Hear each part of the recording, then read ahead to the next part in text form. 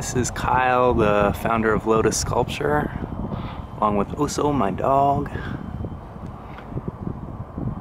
This Balinese Buddha is in the Dhyana Mudra, which is a meditation mudra with an alms bowl resting in his lap, along with mala beads. Alms bowl can be used for any kind of offerings. Right now we have a just a flower in there. At night you can put a candle or water and another little plant. Uh, this is one of my favorite Balinese artists because of that beautiful lotus finial on top of his head.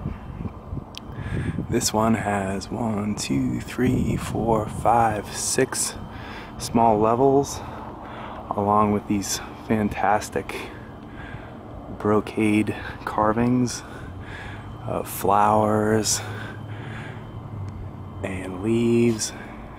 Just the time it took the artist to carve this is just mind blowing when you think that this was once just a big piece of rock. Now he is an awesome Buddha.